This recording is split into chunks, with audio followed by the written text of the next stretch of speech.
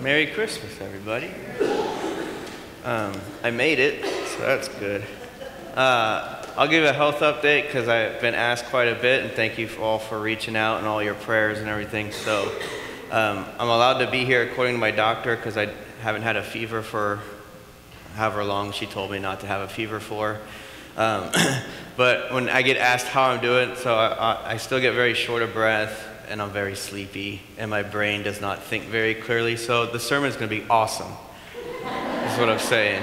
Um, but I will be doing the whole service from here, so I have something to lean on because I just I get fatigued and short of breath real quick. I also have asthma, so that's been fun process. When it comes to communion this morning, uh, we will have communion. Um, I will not be serving it or touching it just to make sure I don't get any of you sick. So I'll do the consecration of the elements from over here, and then our elders will serve communion down at the steps uh, this morning. Um, that way, we still get uh, the body and blood of Christ for our forgiveness, and that'll be great. But um, thank you for all your prayers. We have a lot of church members that are also sick and aren't able to be with us. We want to continue lifting them up in prayer. But I appreciate all the encouraging words, the prayers, and all of the uh, reaching out. So, with that, though, we're going to worship Jesus this morning. We're going to celebrate the joy that he brings as being our Savior that we recognize and remember on Christmas Day. So, as we begin our worship, I invite you to stand for opening hymn, Joy to the World.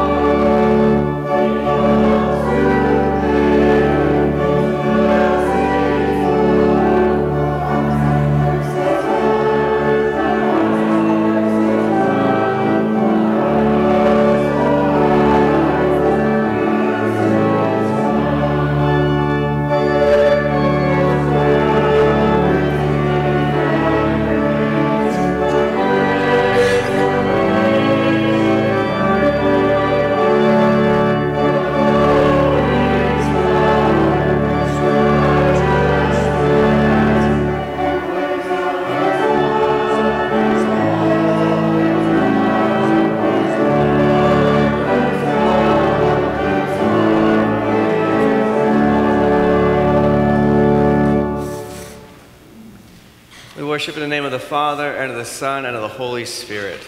Amen. Beloved in the Lord, let us draw near with a true heart and confess our sins unto God our Father, beseeching him in the name of our Lord Jesus Christ to grant us forgiveness. Our help is in the name of the Lord. I said, I will confess my transgressions unto the Lord. This time you're invited to kneel, sit, or stand for a time of silent reflection on God's Word and for self examination.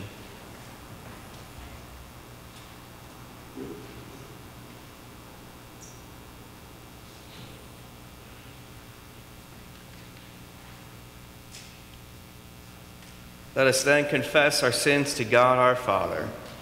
Most merciful God, we confess that we are by nature sinful and unclean. We have sinned against you in thought, word, and deed, by what we have done and by what we have left undone. We have not loved you with our whole heart. We have not loved our neighbors as ourselves.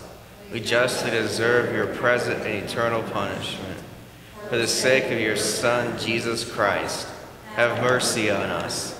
Forgive us, renew us, and lead us, so that we may delight in your will and walk in your ways, to the glory of your holy name. Amen.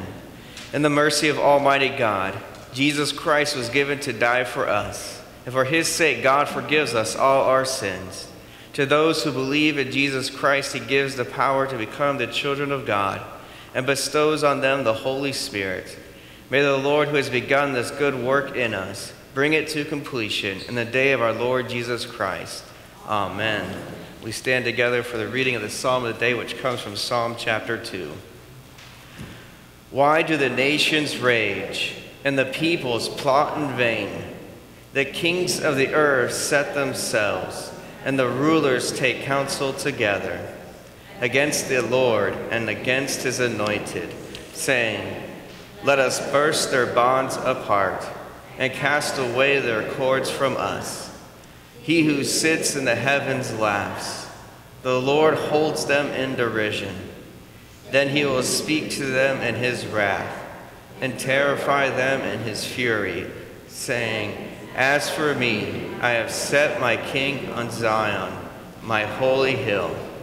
I will tell of the decree. The Lord said to me, You are my son. Today I have begotten you. Ask of me, and I will make the nations your heritage, and the ends of the earth your possession. You shall break with them a heart of iron, and dash them in pieces like a potter's vessel. Now therefore, O kings, be wise. Be warned, O rulers of the earth. Serve the Lord with fear and rejoice with trembling. You may be seated.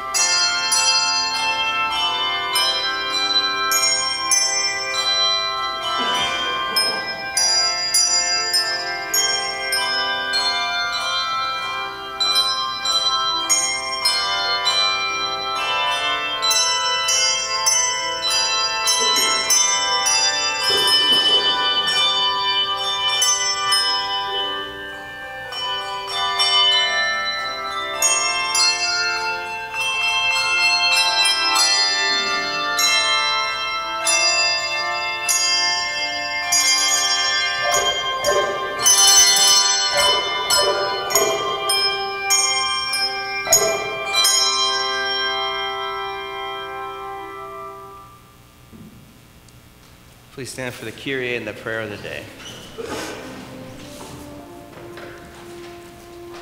In peace, let us pray to the Lord.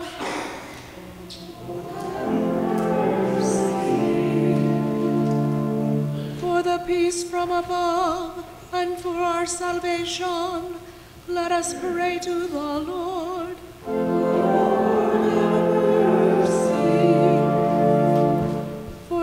Peace of the whole world, for the well being of the Church of God, and for the unity of all, let us pray to the Lord.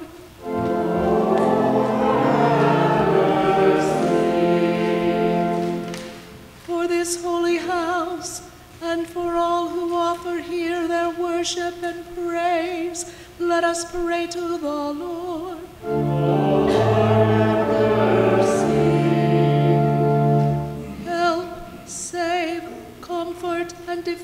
Us, gracious Lord.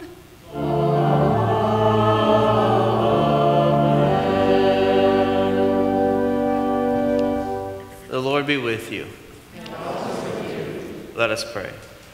Almighty God, grant that the birth of your only begotten Son in the flesh may set us free from the bondage of sin. Through Jesus Christ, your Son, our Lord, who lives and reigns with you in the Holy Spirit, one God, now and forever. Amen. You may be seated.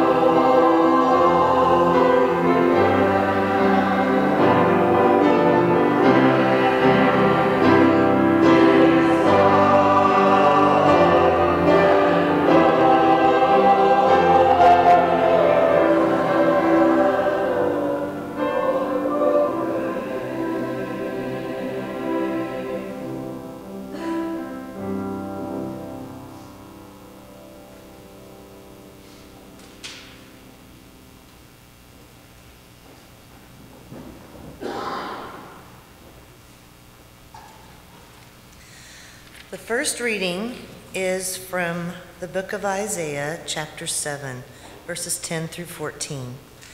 Again, the Lord spoke to Ahaz Ask a sign of the Lord your God, let it be deep as Sheol or high as heaven. But Ahaz said, I will not ask, and I will not put the Lord to the test. And he said, Hear then, O house of David. Is it too little for you to weary men that you weary my God also? Therefore, the Lord himself will give you a sign. Behold, the virgin shall conceive and bear a son, and shall call his name Emmanuel. This is the word of the Lord. Thanks be to God. The uh, second reading is from the Old Testament, um, Isaiah chapter 9, verses 1 through 7. But there will be no gloom for her who was in anguish. In the former time, he brought into contempt the land of Zebulun and the land of Naphtali. But in the latter time, he has made glorious the way of the sea, the land beyond the Jordan, Galilee of the nations. The people who walked in darkness have seen a great light. Those who dwelt in a land of deep darkness, on them has light shined. You have multiplied the nation, you have increased its joy. They rejoice before you, as with joy at the harvest, as they are glad when they divide the spoil. For the yoke of his burden and the staff for his shoulder, the rod of his oppressor, you have broken as on the day of Midian. For every boot of the tramping warrior in battle tumult, and every garment rolled in blood, will be burned as fuel for the fire. For to us a child is born, to us a son is given, and the government shall be upon his shoulder, and his name shall be called Wonderful Counselor, Mighty God, Everlasting Father, Prince of Peace. Of the increase of his government and of peace there will be no end. On the throne of David and over his kingdom to establish it and to uphold it with justice and with righteousness from this time forth and forevermore. The zeal of the Lord of hosts will do this. This is the word of the Lord. Thanks be to God.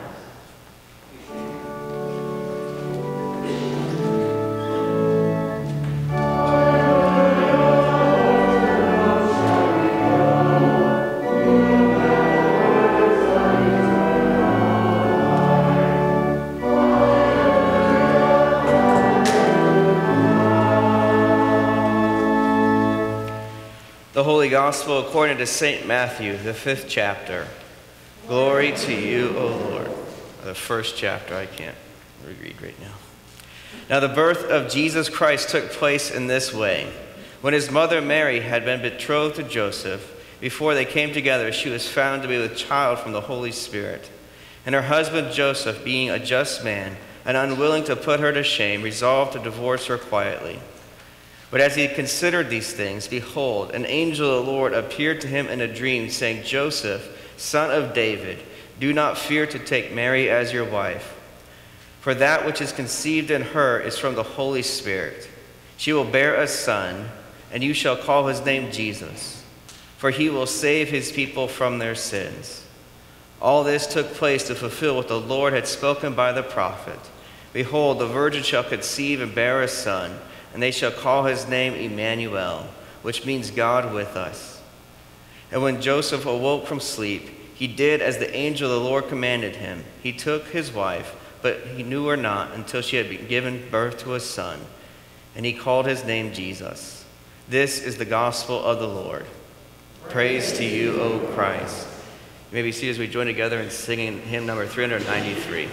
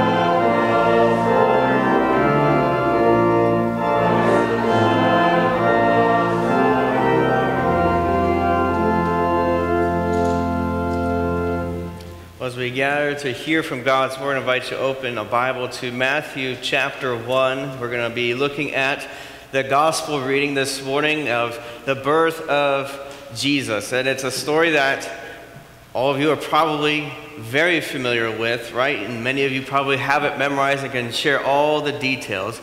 But as I was preparing this week for this sermon, things changed in my life, and things have probably changed in your life recently. And it got me thinking um, how many of you typically make plans for Christmas?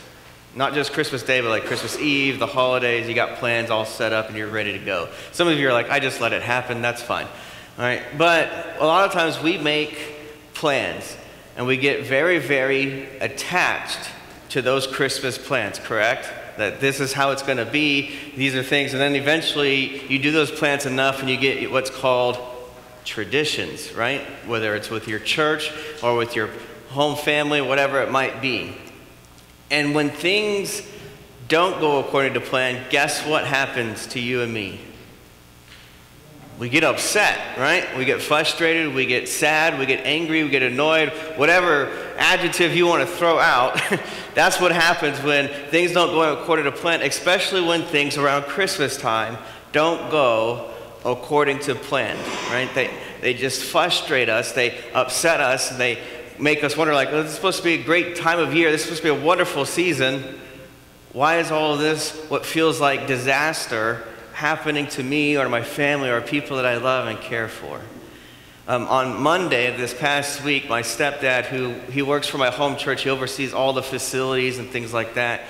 And he texted my brother and I to let us know, and he had pictures of it um, happening, that in the middle of the night, um, and luckily they were scared off, so it didn't happen. Um, two pickup trucks pulled up all the way into the courtyard of my home church. So not like the parking lot, but like all the way into the courtyard area where they have a large 30-foot Christmas tree all decorated. And they have when they they do a devotional service around it, and it's really beautiful and everything.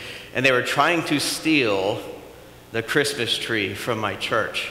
All right, and uh, so it's like a real life Grinch story. Now, thankfully, they didn't get away with it but it kind of interrupted a lot of the Christmas plans that my stepdad and church family back home had. All right? And so there's things like that where it's just, you just want to throw your hands up in the air and be like, really? Like, this is happening? Right? You think, like, okay, we're going to set up tree at church. It's going to be nice and beautiful. And at least we're going to have that, right? No matter what else happens in the chaos world, we're going to at least have that. And then, of course, the world comes along and it's like, well, we're going to try to disrupt that dream, right? That reality. And then, for me personally, and maybe it affected you a little bit, I got COVID this past week, which was not pl- like planned. I didn't put it on my calendar of like, how can I get out of Christmas Eve preaching? I had an awesome sermon written, by the way. You get it next year. All right. Thank you, Bob. All right.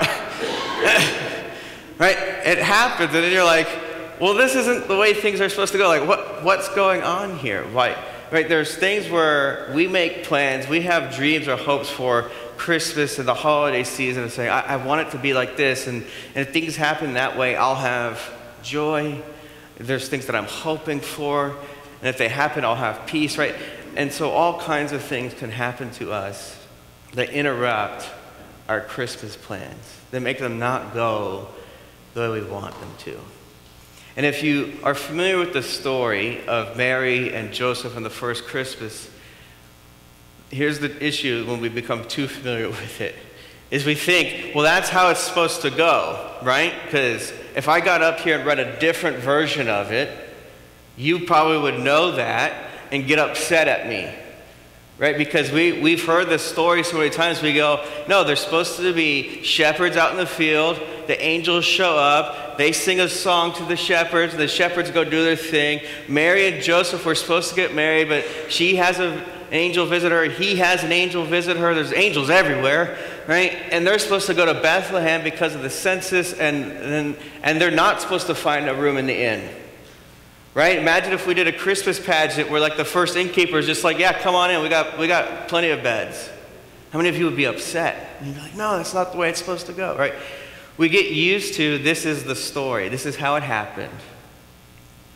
But if you're paying attention, and if you put yourself in the position of Mary and Joseph and the. Sh- By the way, the shepherds did not have it on their work agenda that day angel meeting. Okay, like if you put yourself in their shoes, nobody's world, nobody's life, nobody's plans went the way they were supposed to go the first Christmas. And here's the good news when, when it happens to you and me here and now, we're upset. It feels like bad news. We, we get frustrated, we get disappointed, um, we get sad, whatever it might be. The good news for you and me, though, is that the first Christmas didn't go the way Mary and Joseph and the shepherds and everybody else thought it should, but it went exactly according to God's plan. And so in Matthew chapter 1 says in verse 18, the birth of Jesus Christ took place in this way, and then it goes into the story, right, that we know and love, and the angel visiting Joseph, and Joseph being a good man. Now here's the key verse though. Okay, it happened this way. We're like, oh yeah, that's the way it's supposed to go. Remember what's happening. Joseph is wanting to do what?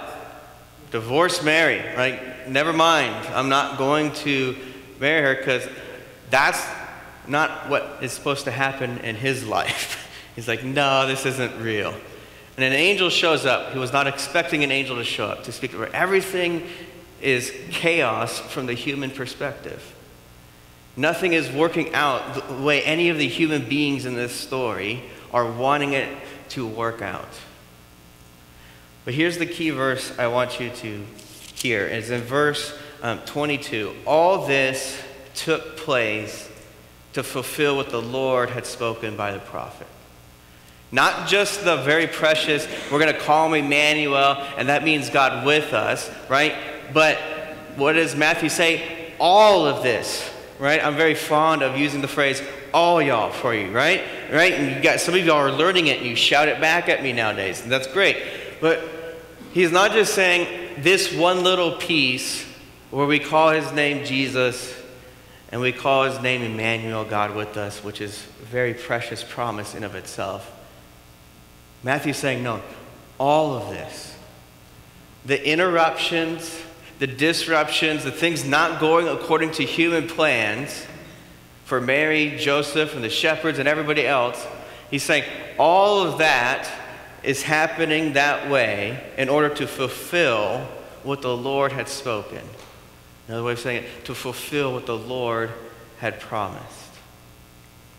And what had the Lord promised way back in Isaiah, which is what Matthew is quoting and looking back towards, is that the Lord will give you a sign. In Isaiah 7, verse 14, therefore the Lord himself will give you a sign. Behold, the virgin shall conceive and bear a son, and shall call his name Emmanuel. God is saying, Look, I have a plan. It's different than yours. Not all of us get excited about that. On the one hand, we're like, yay, God's plans, right? On the other hand, I like my plans. Sometimes I think my plans are better, and the way I think everything should line up and go is the best way. And you think that too. Don't lie to me in church. You know why I know you think that way? Because if you didn't, you'd come up with a different plan. Right? Like every time you come up with a plan or idea, you're like, this is the best one. Otherwise, what? You'd create alternatives. And so we wrestle with God just like Joseph of, I don't get it. I'm struggling with this. But God, in ages past, said, Here is a promise that I'm giving to you, my people. Here's the sign that I'm going to be with you, that I'm going to come and rescue you and redeem you. A child will be born. So if you were to ask Mary and Joseph, hey, is everything going the way you planned it out? The whole getting engaged and, and when you're going to get married and, and where you're going to raise your kids. They weren't thinking Bethlehem, okay? Right? They would have said, absolutely not. Joseph had to have an angel convince him to go through with the wedding. right? And Mary had to have angels visit her to comfort her, and she had to go and stay with her cousin Elizabeth to be guarded and protected because probably everybody else was like Joseph was like, this is not accurate. This is not the way things go. And so their entire lives are disrupted and interrupted. Every plan they could have conceived of has been torn apart and destroyed. And that is probably the most relatable part of the Christmas story. It doesn't just happen around Christmas time where things that we are planning for or hoping for don't go our way. It happens throughout the year, right? And it happens throughout our whole lives. And part of the comfort, though, of the Christmas story is that, yes, you and I live in this world where we're a lot like Mary and Joseph, where things don't always go the way we were hoping or planning or even thinking they would go. But we also live in a world where God has made promises to us. We live in a world where God has made the ultimate promise of saying, I'm going to be with you in all the chaos, in and all the plans being interrupted and disrupted and things not going your way, and, and you acting like Joseph and wrestling with God and wishing you had an angel visit in your dream just to clear some things up real quick, right? And the good news of Christmas is yes, these things are all true. Not everything goes to plan, not everything goes the way we hoped for in life. But according to God's plan, it is going according to plan. And that's really good news when you and I are willing to trust Him and put our faith in His plans above ours. And one of the reasons you and I can do that and say, oh, it will be worth it, and He is worth trusting, and He is, His plans are much better, is the promise of Christmas. With Ahaz being asked, right? In that Old Testament story, Ahaz is asked, I will give you a sign, right? So many of us are like, Lord, just give me a sign. Tell me that I can trust in you, that you will take care of me. Because if you don't know the context, nothing was going right for Ahaz at the time. And Ahaz's problem is he didn't trust the Lord. He's like, I'm not going to test you. I'm not going to ask you for a sign. I'm not. And the Lord's like, fine, I'll do it myself. Here's your sign that I am with you that I am here to redeem you and to be with you in all things. The virgin is going to give birth to a son, and his name is going to be Emmanuel. So when Matthew chapter 1, verse 22 says, All this took place to fulfill what the Lord had spoken by the prophet. That's the good news of Christmas. That as much as there is chaos in our lives and Mary's life and Joseph's life, and not everything goes the way we think it should, the ultimate comfort of Christmas is that God's plan is still good, God's promises are still kept, and that He is the God who keeps those promises. He's the God who makes the good plans, and He's the one over all things. And so when we are struggling, when Christmas is not going perfectly as you imagined, there's still hope in the Christmas story itself, which is everything went according to God's plan. And his plan is much better than any plan you and I could ever come up with, because his plan was not just good family time. His plan is not just everybody got along at the dinner. Nobody said anything weird last night. We made it, right? God's plan is much bigger than all the right gifts were bought and given to each other. God's plan is to be with you and to be with me and to be with all people. So that, that sin no longer separates us or um, causes d- disruption in our relationship with Him. Instead, His plan is I'm going to be with you, I'm going to redeem you, I'm going to send a Savior. So, no matter what you and I face during the Christmas season and our plans going awry, no matter what comes in the new year, you and I have a solid foundation of hope found in Jesus Christ. Because as Matthew says, all this took place to fulfill what the Lord had spoken, fulfill what the Lord had promised. So sometimes we don't see it. We don't understand God's view of things all the time.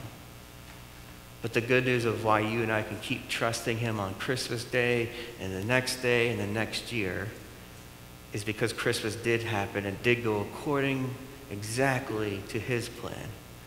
And the good news is that because it went according to His plan, He is the God who is with you and me in all things.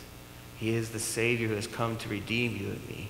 And He's the God who keeps all of His promises. Let's pray.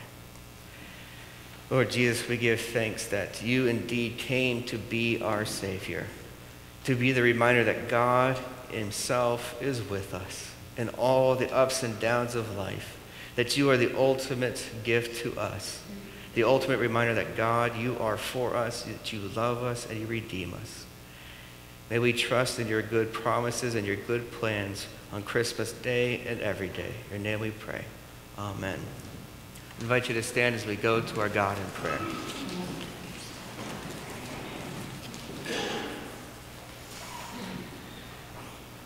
Heavenly Father, Scripture teaches us that every good and perfect gift comes to us through your hands. We thank and praise you for all the ways that you've provided for us throughout this year. We ask, Lord, that you would use those of us whom you have blessed to bless others so that they may know your mercy and kindness. We pray for our brothers and sisters in Christ who are in need of daily bread, Lord, that you would continue to provide for them and meet their physical needs so that they would know your love. Lord Jesus, you are the greatest gift we could ever receive. We thank and praise you on this day for the gift of your birth, of you coming to be Emmanuel, God with us in our brokenness and our sin, and more than that, to be the God who redeems us from all those things. Lord Jesus, you are the great healing, great physician. We pray for all those who are sick and ill and all those who are in need of your healing hand and comfort, that you would lift up their spirits and bring healing to their bodies so that they may continue to worship and praise you. Holy Spirit, you are the counselor. We ask that you would give wisdom to all who are struggling to understand the plans of God. That you would also give us faith to trust in those promises and plans when we cannot see the picture fully. Holy Spirit, you are also the great comforter. We ask that you would comfort all hearts and minds that are in need of peace, and that you would give to all a peace that goes beyond all understanding because it is found in the love of Jesus Christ. We pray all these things in your name, Lord. Amen. You may be seated as we continue our worship with our tithes and offerings.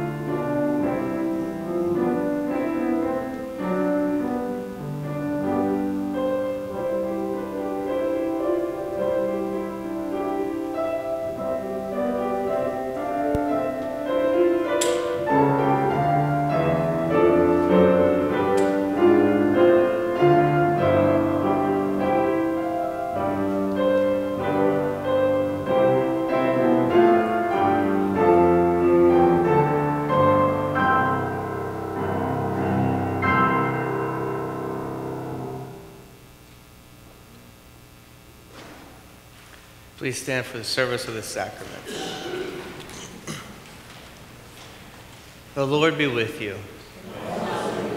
Lift up your hearts. Let us give thanks to the Lord our God. It is truly good, right, and salutary that we should at all times and all places give thanks to you, O Lord our God, King of all creation. For you have had mercy on us and given your only begotten Son, that whoever believes in him should not perish, but have eternal life. Grant us your Spirit, gracious Father, that we may give heed to the testament of your Son in true faith, and above all, firmly take to heart the words with which Christ gives to us his body and blood for our forgiveness. By your grace, lead us to remember and give thanks for the boundless love which he manifested to us when, by pouring out his precious blood, he saved us from your righteous wrath and from sin, death, and hell. Grant that we may receive the bread and wine, that is, his body and blood, as a gift, guarantee, and pledge of his salvation. Graciously receive our prayers, deliver and preserve us to you alone, O Father, be all glory, honor, and worship, with the Son, the Holy Spirit, one God, now and forever. Amen. We join together in praying the Lord's Prayer. Our Father, who art in heaven, hallowed be thy name. Thy kingdom come, thy will be done, on earth as it is in heaven.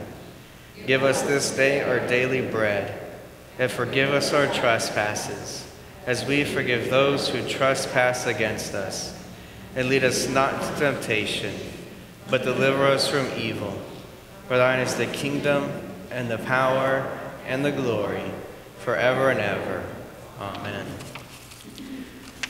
Our Lord Jesus Christ, the night when he was betrayed, took bread. When he had given thanks, he broke it and gave it to the disciples and said, Take and eat. This is my body, which is given for you. This do in remembrance of me. In the same way also he took the cup after supper. When he had given thanks, he gave to them, saying, Drink of it, all of you. This cup is the New Testament in my blood, which is shed for you for the forgiveness of sins. This do as often as you drink it in remembrance of me. The peace of the Lord be with you always. Amen.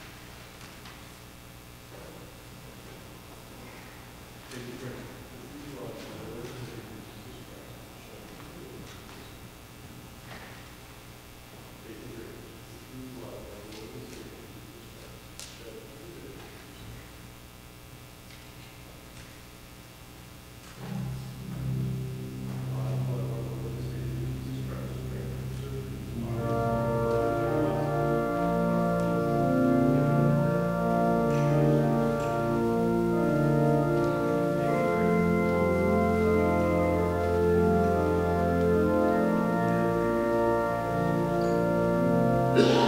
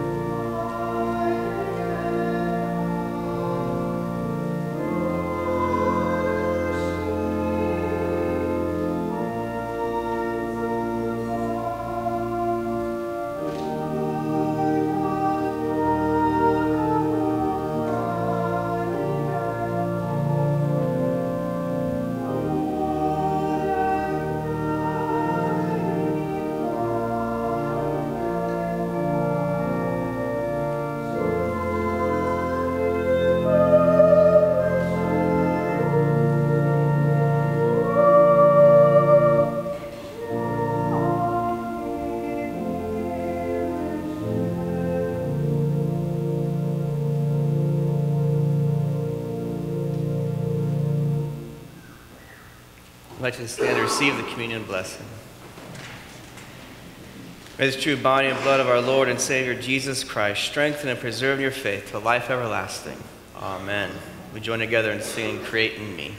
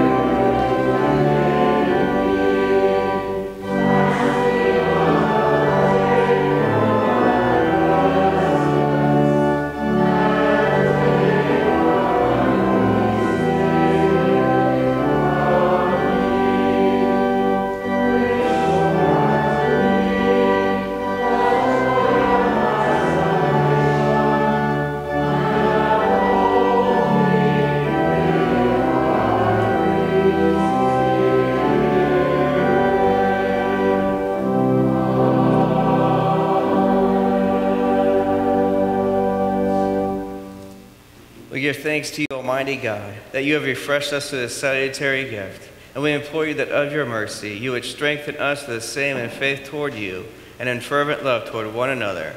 Through Jesus Christ, your Son, our Lord, who lives and reigns with you in the Holy Spirit, one God, now and forever. Amen. Uh, just a couple announcements. One is uh, there's no adult Bible class this morning. Sorry, I don't have the lung capacity to do that uh, this morning. Uh, the second is I want to say thank you and have a congregation say thank you to all of our choir and handbell choir and all the musicians throughout this Christmas season. So thank you for all the ways that they blessed our worship.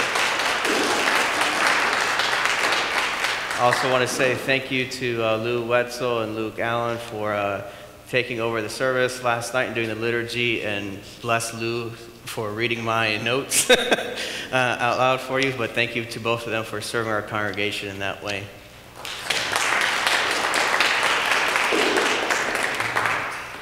Let us bless the Lord.